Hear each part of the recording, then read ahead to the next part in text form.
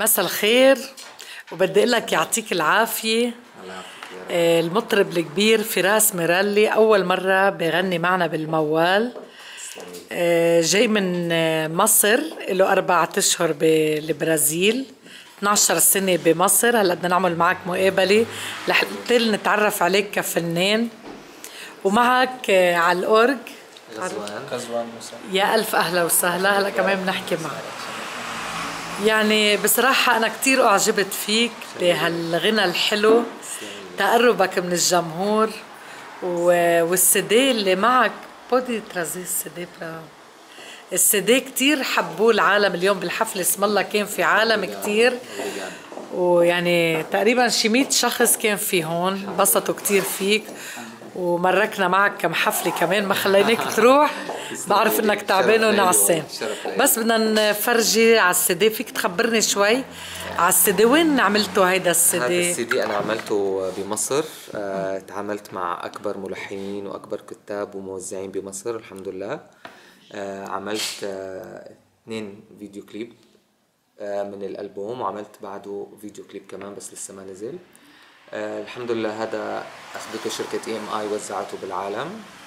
آه والحمد لله كان حقق نشار كتير كبير بكل الوطن العربي. الأغاني أخذت المركز الأول.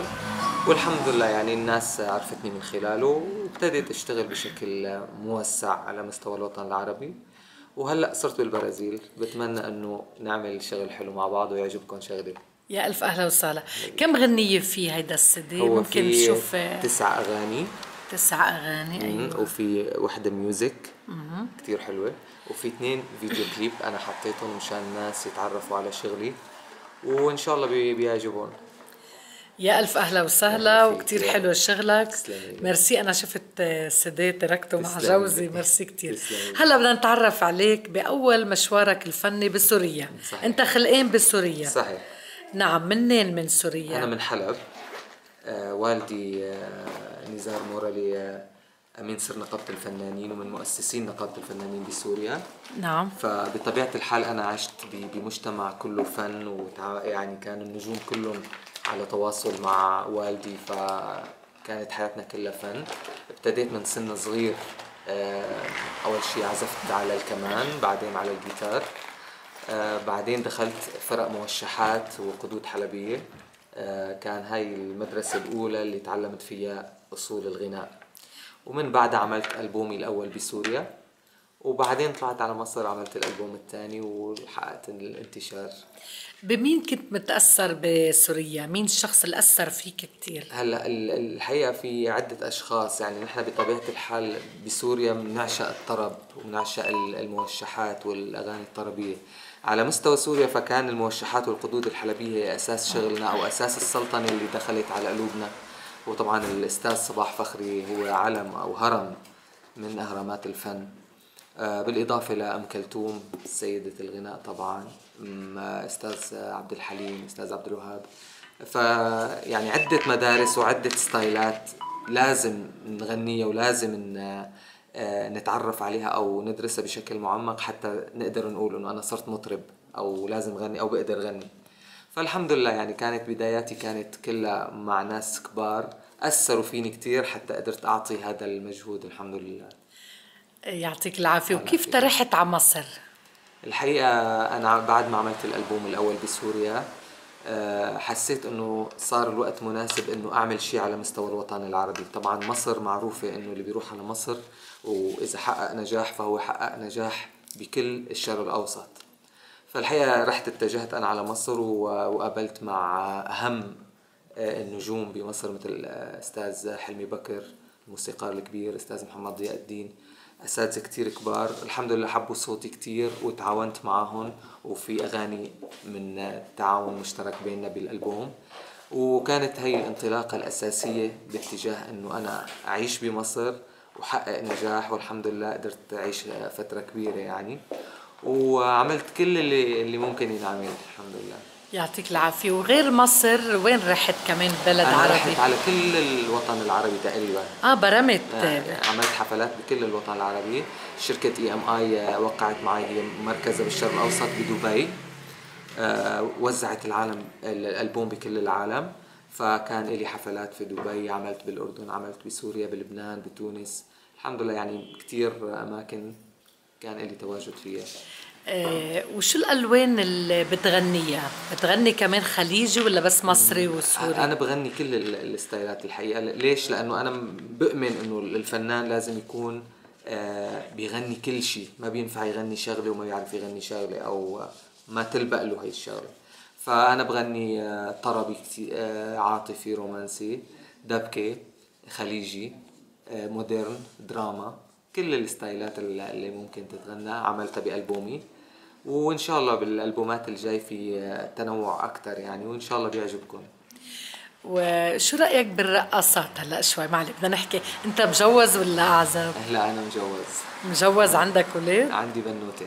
آه يعني هي بعدها بمصر يعني. آه بمصر هن طيب ما رح نحكي على حياتك الشخصية بس لأنك شبوبية بدنا نطمن البنات. خلي لي آه بدي أسألك بالنسبة للرقصات هلا طبعا بمصر رقاصة معروفة قد إيه مهضومة، أصلا الشعب المصري مهضومين كثير صحيح والشعب السوري عندهم الإيقاع المضبوط والطرب سلاطين الطرب والرقصات آه وين لقيت الرقصات هيك عندها ميزات غير بتتميز عن غيرها؟ مثلا رقاصة ب بالبرازيل هلا شفتهم شفتهم وبمصر وبسوريا. شو رأيك هيك بلمحة هيك؟ بمصر هن المدرسة بحد ذاتها بالرقص الشرقي. آه يعني لهم تاريخ كتير كبير ومعروفين كتير بهذا المجال. آه بس أنا تفاجأت بالبرازيل إنه يعني كمية رقاصات هون رائعين جدا. آه إحساسهم بالإيقاع. رائع جدا بيحسوا الموسيقى الشرقي بشكل أنا الحقيقة تفاجأت فيه. وكتير مبسوط إنه في في حالة فنية كتير عالية وخاصة إنه هو بيخص مجال شغلي يعني الشرقي. فالحقيقة أنا كتير مبسوط إنه بالبرازيل في رائصات كتير حلوين آه، بالنسبة للبرازيل هلأ لك انت أربعة أشهر. صح.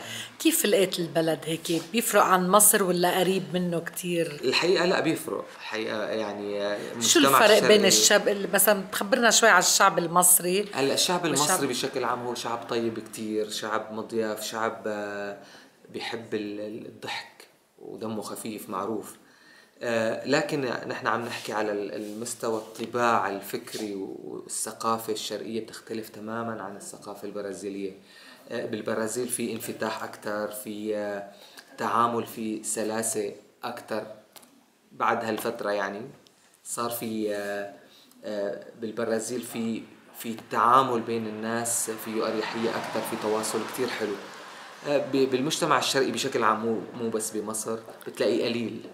أيوه. صعب يعني. يا ألف أهلا وسهلا فيك. فيك, آه فيك تخبرني شوي على مرافقك.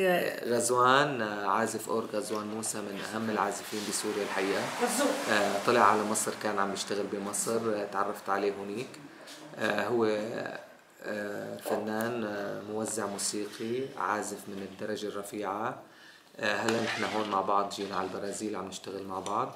ويعني الحقيقة هو كثير بيساعدني إنه أنا أقدم الصورة اللي أنا بحب أقدمها عن فراس فهو له جزء كثير كبير منها لأنه هو عم بي عم بيجسدها من خلال الموسيقى اللي بيقدمها وهو كثير كثير حدا شاطر ويعني بيشرفنا إنه نحن نقدم هذا الشغل لكم يا ألف أهلا وسهلا فيك. وحو إجا غزوان هتا نحكي معه. خبرنا عن مشوارك الفني. وين بلشت بسوريا كمان؟ وسبب انطلاقتك لمصر؟ أنا بسوريا كان عمري 16 سنة بلشت أعزف. أه اشتغلت مع الفنان ناصر نوري أه وطلعنا أنا وياه على مصر تعرفت على فراس هنيك أه اشتغلت سنتين بمصر. كنا عاملين band هنيك كمانجا وأورج. و... أنت بتدق أورج وشو كمان؟ كمان لا بس أورج. آه بس أورج. إيه. كان معي أخوي عازف. أخوي الأستاذ فراس ناصر مورلي عازف كمان. كنا عاملين show بمصر ضلينا سنتين هناك. وهلأ صار لنا أربع شهور أنا وفراس اجينا صار عندي شوية مشاكل هون فاجيت. يا ألف أهلا إن شاء وسهلا الله يا رب. بدي أسألك سؤال عن الاورجيت هلأ الأورج الشرقي بيختلف عن الأورج ال- الغربي. مزبوط في له شيء مميز. شو هو اللي بيميز الأورج الشرقي؟ ما في فرق. هو الفرق ال- العزف الشرقي والعزف الغربي. أيوه. حلو الأورج. هذا جايبه منين؟ من جايبه معك؟ من بيروت. من بيروت. آه، شو بتخبرنا بعد عن حياتك بمصر؟ هيك انبسطت بالفن. بيعتمدوا أكثر على الإيقاعات المفرحة يعني بتفرق شوي طبعاً. الموسيقى معي. طبعا هو هناك بمصر آه، المجال الشرقي مفتوح أكثر من هون بكتير. يعني آه، مجال الرقص لحال الطرب لحال هون في مش في مشكلة إنه ما بيسمعوا غير رقص ما بي ما بيحبوا أكتر غير شي. الدبكة أكتر شيء كتير كتير. شغلات بالشرقي هون آه، ما لقينا الناس حاببتها الطرب أم كلثوم عبد الوهاب. بمصر لهلأ آه، ماشي. موسيقى محبوبة هنيك طرب. وبيسمعوها طبعا يا ألف أهلا وسهلا فيك. وإن شاء الله تنبسط معنا بالبرازيل وبالموال. وكتير انبسطنا وتشرفنا بوجودكم معنا. وهلا بقلكم. باي باي إلنا لقاء تاني معهم بالموال. أهلا شكراً، وسهلا. شكراً كتير، شكرا شكراً، كثير